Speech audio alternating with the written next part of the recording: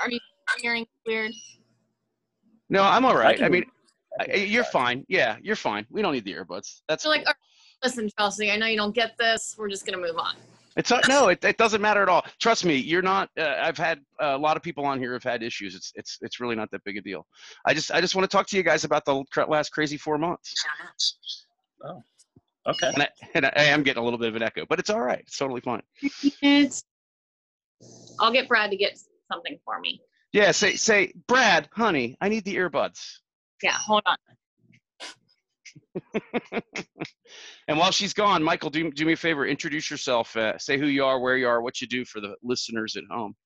Okay. Well, I am Michael Imbus. I am in Virginia in the military.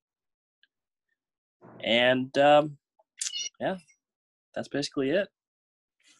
That's it. For the most part. That's that. That's it. Yeah. Now, uh, um, when I first started doing these things, it was uh, back in the middle of March when everything was getting weird and everyone was taken a lot more seriously than they are now, which makes no sense. But uh, um, but what I started doing is I just started calling people and asking them uh, how they were dealing with this and, and what they thought of it and how weird it was and how it was affecting them and all those sorts of things. So take me back, um, or I mean, we can wait for Robinson or Baldhoff to come back but uh but take me back to what i consider d-day which was friday march 13th that was the friday before um, schools closed and uh and it was the friday before they started talking about shutting shit down and all of that um so i want you to do me a favor and tell me a little bit oh wait chelsey's back okay. Perfect. chelsey chelsea can you hear us Yeah, is that better for you? yeah yeah it's awesome and you're you sound your the clarity is unbelievable do me a favor great. i- introduce yourself say where you are who you are what you do for the listeners at home I'm Chelsey Baldhoff. I live in Madisonville, inside Cincinnati, Ohio. And I am currently a stay at home mom that started my own uh, design business over the past year since I had my daughter. Nice. How come I didn't know anything about this design business you started? Because I haven't talked to you much. Uh, yeah, but if you start a business, it seems like you tell first thing you do is tell all your friends, right? Yeah, except for I haven't had much time for the business. So I'm trying to slow go it. So. Slow rolling the business. So business is all uh, word of mouth right now. It's all I Okay. can really handle. So you know, Well, I mean, sometimes been doing. it's a good way It's to been start. great. It's Yeah. been great. It's been one client after another, which is perfect. It's all I Now- can really handle. To tell the truth, are you feeding off the denizens of the quarters regulars? Actually, I'm not. Not at all. Actually, it's um all um friends from my other job at uh, Great American. ah, yeah, which is really only a marginal difference. Really? kind of exactly. well, uh, one of the reasons Chelsey uh, and, and uh, Michael, I, I want to go back to what I was saying. I was just telling Michael I started talking to people about the whole COVID thing because I thought it was weird and I thought it would be interesting to see how people are handling it. And um and we we all talked about getting on a couple of months back, and one of the main reasons I wanted to talk to you is because you have an infant, well, a one-year-old Right. now, you know, and and so I wanted to talk to you a little bit about um, what I- what I want you guys to do. I'm going to go back to Michael because I started with him. Is tell me a little bit about how D-Day was for you when they first started shutting everything down, back when things aren't as dangerous as they are now, and uh, Mhm. just tell me a little bit about about uh, how things have been have been going that way. So, Michael, D-Day, back up. You're stationed in Virginia, right? Yes. and uh, So- and so what what what did what did the whole shutdown mean for the military? Well, for us, well, like so, like, I'm working at like the schoolhouse. So for us, we have students that come from all over, like all over, like uh, Korea, uh, Japan, stuff like that. That's where they're stationed. They come here to go to go to class. But so for us, like they were, we had uh, class in session, and some one of the soldiers was from Hawaii. So they're like, well, or do we send them back? Do we keep them here? So they end up keeping them there and uh, expediting some of the classes, getting them done quicker to try to get them out so they're not going in there. But they had us all like wear wear masks. They shut down a lot of like just essential personnel only. And this was back in Uh, March and April. They were yeah because they had to talk about it because they didn't have anything in place. So Right. and then they had a Mm. bunch of like uh, you had soldiers who were going to basic training who had completed basic training but they had um, uh, stop movement. So basically, everyone was staying in place. So even though you graduate basic training, you were still staying there. But they also had some soldiers still come, new classes coming in. Right. So they had, and like we can't send them back, can't send them here. So it was kind of kind of a cluster for a little while. And Now- we just recently, we just recently, just this last week, started up classes again. I mean, we have just with students, it's only four, uh, 15 more people. right. So, So- but it's so like just- everything six feet, six feet apart, mask, Sure. limited movement. So Right. But the, the thing is, is um, uh, you you said the word stop movement. So there was like an overall military command that everybody had to kind of like stay put. Yep. So like even if like they stopped like um uh PCS like permanent change of stations and uh like moves and stuff like that, even if you had orders to go, like it's like no, you're gonna stay here until this figures this stuff out. Like the one soldier he completed the course, but he wasn't able to go back to Hawaii until like maybe like a week and a half after the class and it had to get signed by um a, a general from Hawaii. Right. Just to allow, just to allow, just to Just to allow them allow- to travel back. Yep. And th- and And- this was and this was in April, and we were having um, less than a tenth of the caseload that we have now on a daily basis, right? that was yeah that was between um yep like like may like like from march to like may and then we just canceled like stopped all classes halted all classes and Mhm. no one no one coming or going anywhere and so okay, but so so you got a lot of restrictions in place, but things are trying they're trying to kind of resume. they are they're trying they're trying to they're trying to get back to some sort of normalcy but they also have like restrictions of movement so um i know some of the people on post as well as like the navy people around here as well like they're not allowed to um you can just go to the store to go get like go get food and you Mhm. go shop go like um to like appointments and stuff like that but Get outside of, like, right? outside of like like if you're caught eating out in public and restaurants or Hmm. going out to the beach and stuff like that or going to like a gym off post like you can be sa- E- facing some serious trouble Even now. yes Okay. Well, I mean, I guess it's kind of reassuring to know that they left it in place as things got worse. we'll, Yeah. get, we'll get back to that. Chelsey, you had when this all started, you had a eight month year old on your hands, and Yeah. and and you're you're doing a design business, but you're essentially being a stay at home mom. Um, Mhm. and and this is one of the things I wanted to talk to you about because you know a lot of people have been up against the idea of like their lives being completely upheaved. Um, but you know you, you were in a situation where you'd be home a lot anyway, but you didn't have play dates or any of that stuff. T- tell me tell me a little bit about how it went down, how how you and Brad handled it, and how Goldie handled it. I mean, I guess Goldie doesn't have any idea, right? Not well, yeah, not a clue. Right. Um, I don't Just know. had this, I had this vision of your eight month old in a high chair going, I need to see my friends. She's pretty smart. She is Right. pretty smart. I would imagine. She knows. She knows something is awry. She just hasn't figured out what it is yet. Right. Um, we had actually just got back from a trip um, at the end of February. We went with Ashley and Ryan, um, you know, friends of both of ours. Mhm. And uh, we got back March 1st from skiing in Colorado. Oh, okay. How long were you guys Yeah, out there? Uh, four days. Oh, I, you know, I remember seeing some of the posts and stuff. It seemed like a great trip, Yeah. and it seemed and it seemed like you got it in right under the wire. You know, Think, I mean, I, yeah, I guess, but you know, how long was it actually here before we actually did anything about it? So, yeah, yeah, there's that. You know what I mean? So, two months you know, at least. Yeah, exactly. Exactly. So, um, yeah, we had just come back from a trip, which I guess thank God we got something in because having an eight month old, I was in desperate need of it. So Right. that's good. But unlike a lot of my friends, you know, a lot of my friends have kids that are three and five.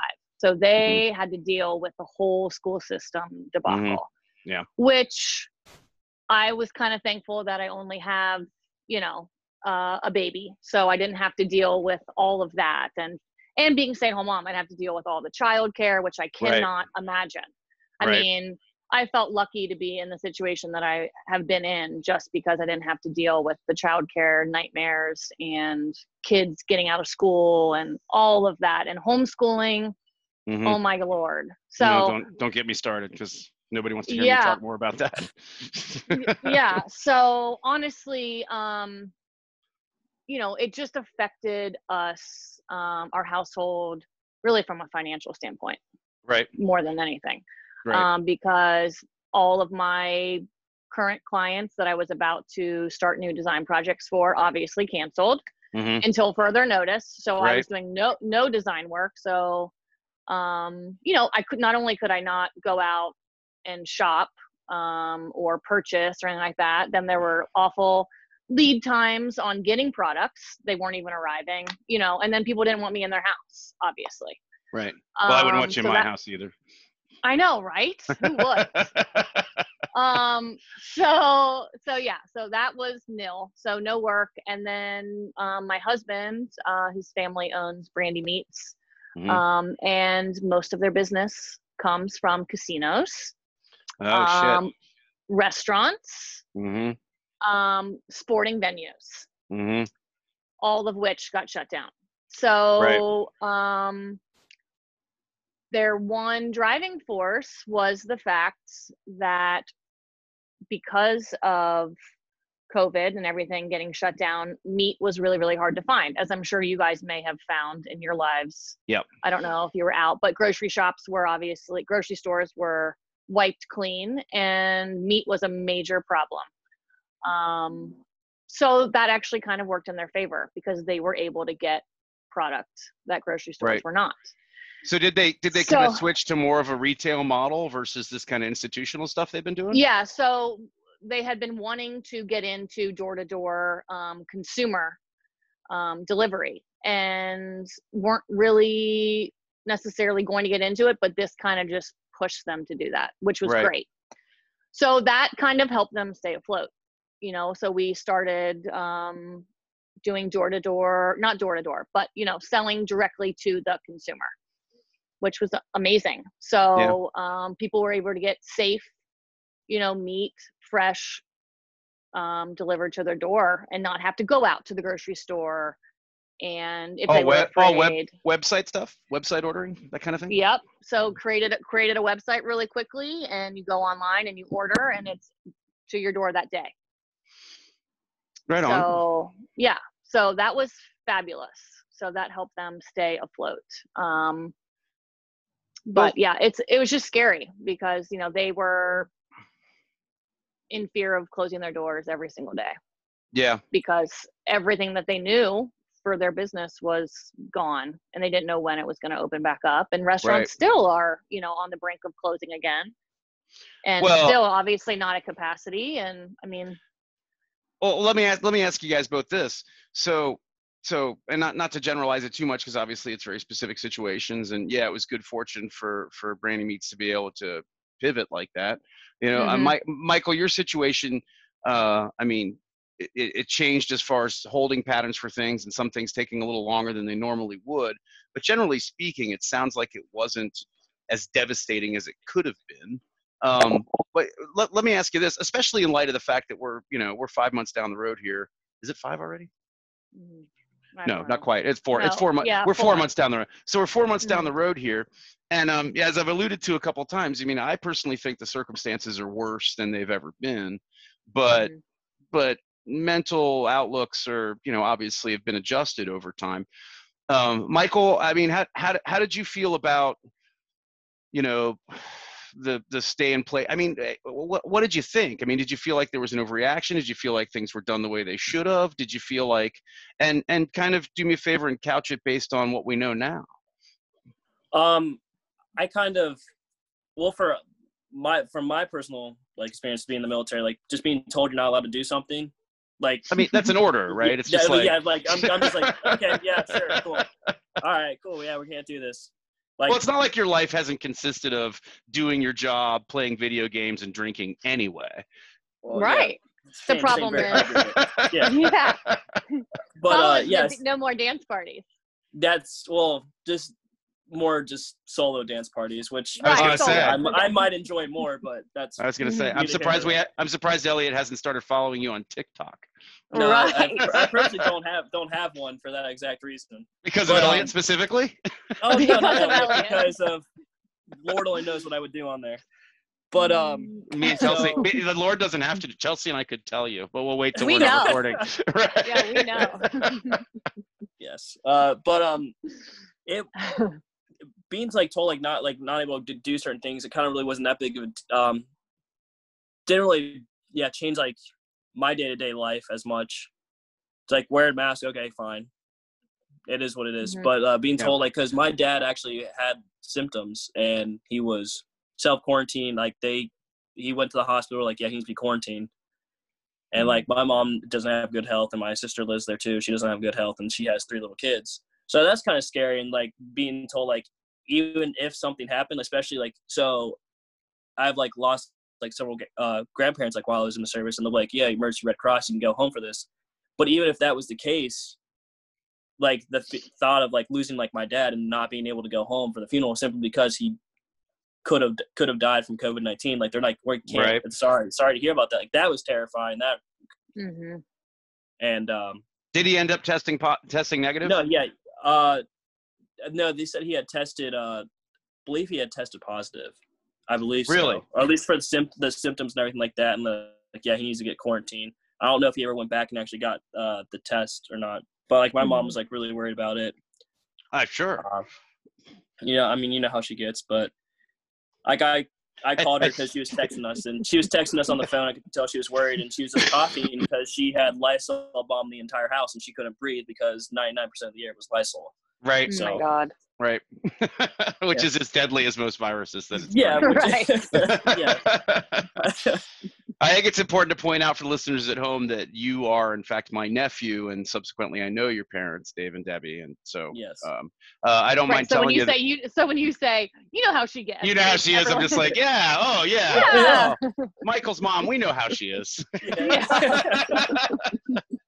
but they're both fine though, right? And Gabrielle's Yeah, fine. Yeah, they're all doing. They're doing well. Okay. Doing good. Yeah. Glad to hear that. But I mean, but see, that's the thing is uh, that that kind of sucks. But generally speaking, you know, like it, it always heartens me to hear somebody say something as casual as wearing a mask, whatever. You know, because it really, you know, in in you know, against the backdrop of everything else that's going on, it seems like a, a small detail. Um, but what what about you, Chelsey? I mean, obviously the the the risk of Brandi meats and the fact that you were just starting this business and you had Goldie real young and all that. But what was your Mhm. general what was your general outlook? I mean, what did- what did you think? And and again, couch it against where we are now. I mean, everybody seems very optimistic now, despite the fact that everything is very clearly worse than it was back when everything was shutting down. Mhm. Um, but, I mean, just just at I mean, just out of idle curiosity. I mean, wh- what was your thought process then compared to now? Um, you know, like I said before, it didn't really change much about my day to day. Really. You guys are Um, boring as fuck. I can't. Both you guys, both you guys said the same Well, thing. Oh, it's it's uh, my life was the same. well, because we both were kind of stuck inside anyway, right? anyway, this? yeah, I mean, Yeah. we're both kind of, you know, but it did, it, it is hard because I am at home with my daughter all day, which means I do, when I do run errands, I have to run them with her. Right. You know, I don't have another option. So that was difficult. Does Goldie have a little Gucci mask that she wears? She, if she did, she would not wear it. She hates accessories. So it would be ripped off immediately. So there's no chance she's going to be a total ah. tomboy. She hates a necklace. She She hates, hates- accessories. hates hates them. Can you believe she's my child? I have no idea how this happened. Yes, actually, I mean, Ah, that's there's an goes, opposite right? thing. Yeah, I mean, I mean, Yeah. Fievel's Fievel's going to be 17 in September, and he hasn't done any time yet. Can you believe he's my child? No, I cannot. how, how many how many tattoos does he have? None. Exactly. It's so weird.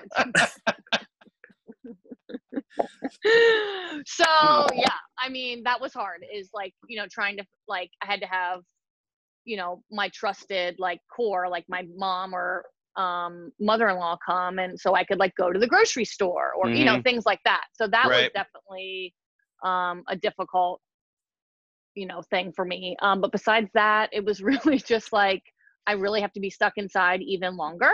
Right. I've been, I just had this baby in July and I'm like so ready for spring to be here and get out and, you know, go and, And live life. And then, Yeah. So that was, you know, I'm like, like Imbus, you know, we like to have fun and get Right. out and be with people and do fun things. And so that was hard for me, honestly, because I, you know, did already go through all of my postpartum stuff and I was like, now, did you have did you have postpartum stuff? Yeah, I, I, guess. I, well, that's the thing is, I, I- mean no offense by this, but having known you for you know a relatively long period of time, uh, Mhm. I, I you just strike me as the kind of person to have a baby and be like, "Yep, but, uh, mm, yeah, I'm on. you know, it just Right. seems like you know, it just seemed like something that you just kind of roll with. I did. I feel like I did roll with it in the very beginning, and it was just like, oh yeah, okay. She's like, you know, have a baby, and everything's the same. But Mhm. it was like the idea of, you know, I had gone from working two full time jobs on my feet in a very social atmosphere Right, to being a stay at home mom with a child that can't doesn't talk back. right. So that was So- difficult. you went you went from massive interaction to almost none. Yeah. So the social fact of the matter was You very, never very hard. you never called me. I'm, I'm sure we, I, we probably, you know, the the Baldhoff Haggerty text got me through every once in a while. Yes, every once in a while, and and and I want you to know that to this day, even today, in fact, um, Mhm. I oh, I always key in Robinson and then have to correct it. Do you? I you can call me Robinson. It's okay. It's a nickname. yeah Anyway, Uh, so I think it, for me it was just the social factor. Um, you know, because I was ready to finally like get out. Now spring is here, and you know, um, Yeah. and then just the scare for my daughter, you know, and having to figure out Yeah. how I'm gonna get out and get stuff done and have her. So yep, and have Yeah. everybody be safe. yes, so Be Yeah. safe. mhm. Well, I mean, you know, I, I've talked to a lot of people, and and and uh, strangely enough, despite the vast numbers of people that I've been talking to, a lot of people I know have been very, very fortunate. Their lives haven't been devastated by the circumstance. You know, um, Mhm. uh, I know. I mean, obviously, I still know a lot of people in the restaurant business who, you know, had to suck it up for a minute anyway. And uh, yeah, and and I- I thought about that too. I mean, just us all being in the restaurant business in the past. I mean, I Yeah. just cannot imagine. Yeah, all of a sudden, yeah, I, I can't like if, if it had been if this had happened two years ago or three years ago before I got the other job and I was live I was living on the quarter. I mean, Christina and I would have been devastated. I mean, financially, we would have been just devastated. We would we would have been amongst the thirty five percent of the American public that I hear didn't pay their rent or their mortgage this month. That would have been I mean, I think too. we all. I mean, I think we all. I mean, that was that's kind of that lifestyle. I mean, I think we all lived, you know, like that, like looking forward to the next night's, you know, income. I mean, looking forward to it or not. I mean, I, I, I, you know, ever since ever since I stopped bartending, I've had to, I've had to, you know, try and grow up financially because it was just like yeah, mo- money was something I didn't care about because I might be working Saturday. you know, it's just like, you know, I'll, I'll have. I'll have two hundred dollars Saturday. I can spend all this money today. it's fine. We'll go to dinner and spend two hundred and fifty dollars because Right. tomorrow I'll make it again. Make like, it back. What? Exactly, exactly. You know, What I, I did. thinking? Yeah, I, I, I, you know, I don't know. I don't, I don't know. I mean, I'm, I'm 53 years old, and I'm just now getting to the point now where I'm putting money in savings. I mean, granted, Yeah. it's, granted, it's only five or ten bucks every couple of weeks, but Sure. Got to start somewhere. you got to start somewhere. It's true. But you know, the thing is, I was doing these. I don't know if you guys have watched these. I was doing these for a while, and it was all about the COVID nineteen because I thought it was really interesting because I really think this is going to, you know, change America forever. Um, Mhm. and then uh, and then the George Floyd thing happened uh, the last week of May, and uh, and the whole world exploded essentially, or at least it seemed like it from where I was sitting. And Yeah.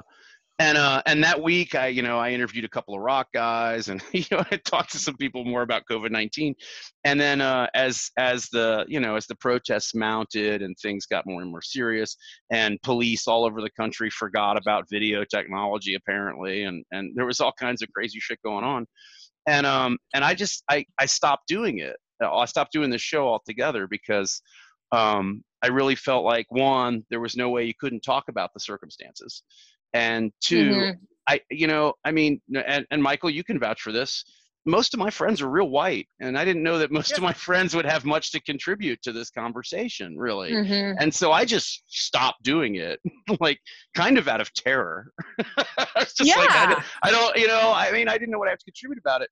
And it's funny that you mentioned Ryan. Uh, him and I were talking about it a couple weeks ago, and um, and he recommended something I'd been thinking about anyways. That you gotta, you know, grab the bull by the horns, have have the only African American people you've ever had on again to talk specifically about this and just kind of meet it head on. And um, that was last Tuesday, and it was a total disaster. Ryan didn't show up; he sent someone in his stead. The girl Rory he'd recruited from Atlanta couldn't make it. Um, Mike Butler, a good friend of mine, who I pretty much grew up with because he was like best friends with my brother, he couldn't make it. He flew to California unexpectedly. So all I had was my other. This is this is great. I can't wait to say this. My other black nephew, Lavelle. because you had never been on, Michael. I didn't pull you into it. But uh, but but let me ask you. Let, let's go ahead and dovetail with that really quick. I mean, Michael, how much of this? I mean, did any of that have any bearing on your existence in the army? you know, seriously. Over. I mean, my guess is the camaraderie there. I mean, I, I can only imagine that that racism is present, obviously, in the armed forces still. But I've met your friends and stuff. It seems like it doesn't have the impact on you anyway that you might imagine. Um, yeah, I mean, I think all my friends I brought back, I think there's only two, two that I would say were technically white, and the other one, like that, like the other, they're, technically like, white. Yeah, well, yeah, well, well, yeah, because I Well, their birth certificate says they're Yugoslavian. Well, no, well, I, I mean, I mean, one. I mean, yeah, I mean, because you know, I mean, you know, you know, Chad, and and Yep. then the other one was was Sarah, and then Cody, but he's like what Panamanian as well. So um, Did you But- say? and Pan- then, did uh, you say Panamanian? Yeah. Okay. and uh, I thought then, that. uh, I'm and- sorry. I know, I know that's actually a place and that's an origin and stuff, but it sounds like a ride at Coney Island. It does. A really be a fun one. ride. That would be a great ride. Would it be like a roller coaster or like what type of ride do Like you picture? picture Something you're gonna throw up on. Yeah, no, it's a spinning ride for sure. A spinning ride you throw up on. Well, that that that's perfect. That's a perfect description of Robinson. So I'm glad we have the same vision of Rob of Robinson. Eh? Not not not formerly known Chelsey Robinson, but my buddy Robinson. So, Robinson. Okay. Yeah. Yeah. yeah, Yeah, let's be clear. but um, yes. For the viewers at But home yeah. who are already Right. confused as fuck anyway. uh yeah i mean i would say just through like almost any system that i've grown up in and even like uh, grade school high school even college like yeah in, in the military as well like yeah there's like racism present and everything like that but you have people have your diff- different views or anything like that might treat you a certain type of way like just because whatever but when it comes to like hey getting this done where like, you don't care creed anything nationality or anything about anybody it's like hey we get this done like hey we're in this to- you don't have to like me i don't have to like you but we're get we have to get this done together right. Mhm. so um and the whole thing like typically if i know that a couple couple issues that came up like i wouldn't say small issues but issues kind of like that between like some people that i know and i told the person in charge like hey just put it let's bring them in the room let them let them talk to each other if they can't handle if they can't handle it's like if you can handle like adults like, i can i have to treat you guys like, like kids like nothing he said was next i can see how you got upset about this but he di- he didn't say anything wrong. You're getting upset. You're blowing. You're seeing it some way. You're making a big deal out of nothing, and don't don't just pull the race like don't pull like the race card Right. and just make it about that. It's like because we can't. If you feel that way and he didn't know that you you felt this way when he says certain things like or post something, you can't get mad at him for not knowing. Like let him know, and then he does it. Then he does it again. That's him purposely doing that, and then then you can come to me. But you come to me and be like, "Hey, he already talked to you about this. You're not listening to him. Now you have to listen to me."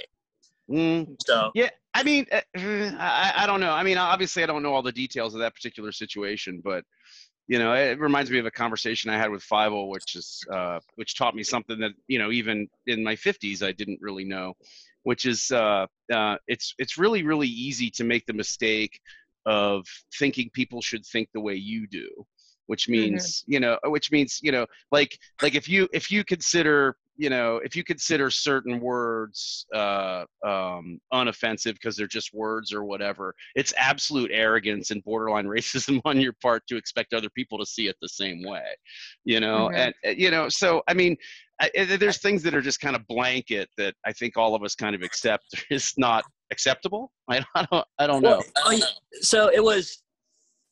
So I mean, hopefully we don't get in trouble for this. We shouldn't. So we have these connected. Nobody, hey, these no, hey, nobody watches this anyway. Don't worry about it. Perfect. Perfect. so there's uh we have uh they're basically they're essentially jumper cables um, Right.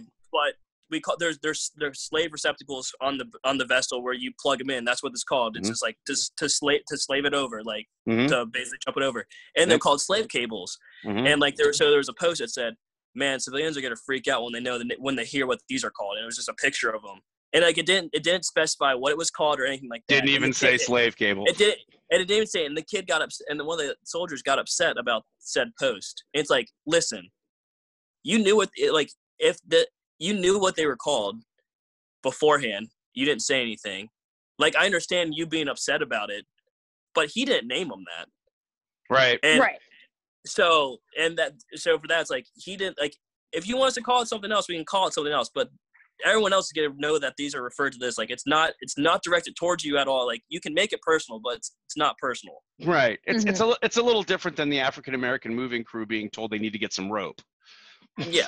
you My know, God. I- but see, but see, that's no, that's the thing though, is that you know that that's actually uh, something that I hadn't even occurred to me before. Is but you know, uh, you know, master and slave. I mean, th- these these are these are terms that are used in all kinds of mechanical and electronic applications. Um, Yeah. You know, in a circumstance where something follows the order of something else. You know, whether that's right or wrong based on human history doesn't change the fact that it's been that way for as long as we, you know, as long as it's been around. You know, I Mhm. mean, e- even brakes in a car. You know, there's a master cylinder. You know, eh, you know, MIDI, MIDI. There's a master MIDI controller, and then there's slave links, and so on and so forth. You know, Right. and you know, I, you know, and I think it's ultimate hair splitting to worry about that sort of thing. But I mean, wh- when this whole thing went down, I, I just, you know, part of me really wanted to kind of go out because I, I was super excited. I thought, wow, this is one of those world changing things that few people in a generation get to actually witness, much less take part in. But I was too much of a sissy to go to any protest or anything because I was afraid of the virus. Uh, hey, Chelsey, did you, I mean, uh, what, what was your experience when this whole thing went down? I think you, that's the third snort, and I can't tell you how happy I am. I can't tell you how happy I am to have even gotten the one. You know, but- but- but when this- I but when- haven't been counting, but clearly you have. No, I, I, I got a little tally here. I'll show you later. I've got Oh, it written down.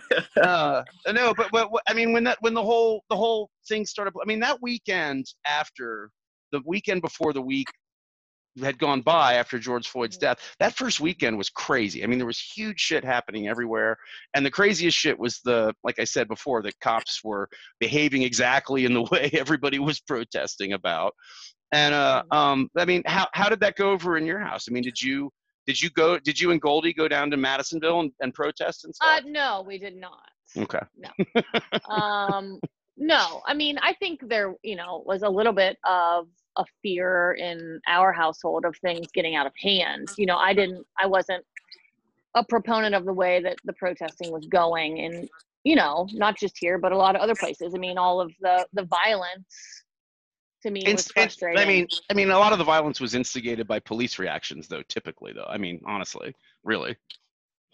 yeah i mean sometimes i mean yeah i mean i guess but you know having a, having I mean, I guess. a young daughter i mean having a young daughter it's still scary No, You know what I was. mean? I'm, I'm totally kidding. I mean, I, I would. I wouldn't advocate anybody in the world taking somebody, you know, nine, ten months old to a protest, regardless of what it was no for. i know that no i just mean i just mean i didn't want things to get you know out of hand and get worse than they than they were you Right. know and Right. you know come to you know have any violence make its way to you know closer to our home i guess okay. so that was my biggest thing is just the fear of protests getting out of control and instead of being peaceful Yeah. becoming violent so Yeah. yeah, the vast majority Like- of them ended up staying peaceful. yeah i mean here at least i mean there was some violence in other cities you know like louisville and stuff but Uh, well, I mean, I, I felt like I was left out, so I went down to the corner and kicked a puppy. I'm, Just- oh i did snort i was trying not to That was the fourth. All that means is that you're happy to see me. Oh, Now, well, well, let me let me ask you this, just because I'm kind of down this road anyway. Um, so I part part of what I went through over the last few weeks with not doing this show and feeling like I wasn't doing anything, but at the same time feeling Mhm. like I wanted to show support and stuff, was trying Mhm. to figure out ways to do so without being like, you know, trite average American going, "Here's my two cents." You know, I don't know. Uh, Did you feel like you had? Did you feel like you wanted to contribute in any way? Um, I mean, I didn't know really how to. I guess That was that, that was my problem too. You know, I, I did that thing like the the the anniversary, the Monday after George died. I did that thing where I blacked out all my social media accounts and I didn't post anything, just kind of a solidarity thing. Mhm, But it was literally like the very least I could have done, you know. And I mhm, just, yeah. you know, and and and there and a lot of people put stuff up on social media about how it was. We're gonna get cut off. That was like the fastest show I've ever had. I've got a 40 minute time limit because I used the free account. Oh, really? Yeah, well, I don't. I don't feel like anybody wants to listen to anybody talk for more than forty minutes, so I left it Agree. there. Yeah, I don't even right. listen to you talk for 40 minutes, and I love you. Aw, that was super nice of you, and it was also super honest for you to say that you didn't want to listen to me talk for forty minutes. Well, thankfully, I let you guys talk more than I did. But I can't. It, will you guys both do this again? See, That was Chelsey, a joke. though. It- it wasn't bad, was it? yeah. No, It my was ba- daughter's it- just it was bad. screaming her head off inside, but everything's fine. Everything's Yeah. every everything's fine.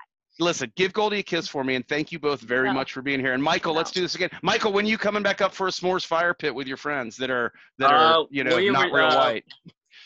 We're we're not we're not able to we're not able to go anywhere. Oh, you guys are still in. The, I thought you. I thought you said that it, Yeah. that it had been lifted we with can't. just restrictions. Yeah, we're not.